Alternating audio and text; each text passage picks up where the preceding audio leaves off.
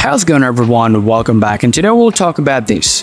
The allow access to camera is missing on Instagram, Facebook, Telegram or any other application that is currently out there. So if you have the same problem to your other application, don't worry, let me show you guys how I can solve the problems. Now to solve the camera allow access features missing on iPhone, the first thing that you have to do is go ahead and open up your settings and then you have to scroll down here and find out this option called screen time. Open this up here and then you have to scroll down and simply tap content and privacy restrictions and here you have to select this option called allow to apps and features. Make sure to enable the camera from here.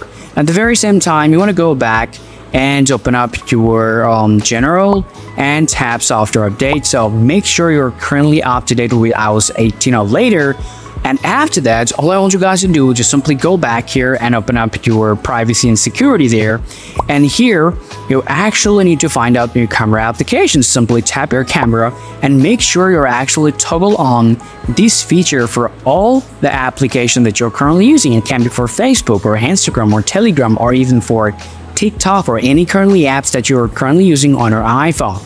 Okay, so after that, all I want you guys to do is just go ahead and restart your iPhone and I can tell you your problem is going to be solved. However, if you still have problems on your iPhone, especially the camera access is still missing, so after following all of the process, the last thing that you guys have to do, you have to open up the application that you need to get an access to. Let's say um, you want to get the camera access to your Instagram, then all you guys is go ahead and open up your Instagram application and then tap your story and then you have to tap camera here.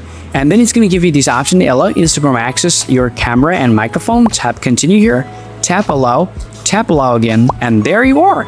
And now if I go back to the settings, let's say I go to the settings, open up the apps, and if I go back to Instagram, you can now see my camera features is got back on track. So that's how you guys can solve the problem. Still, if you guys have any more questions to ask, let me know in the comment section. See you all around.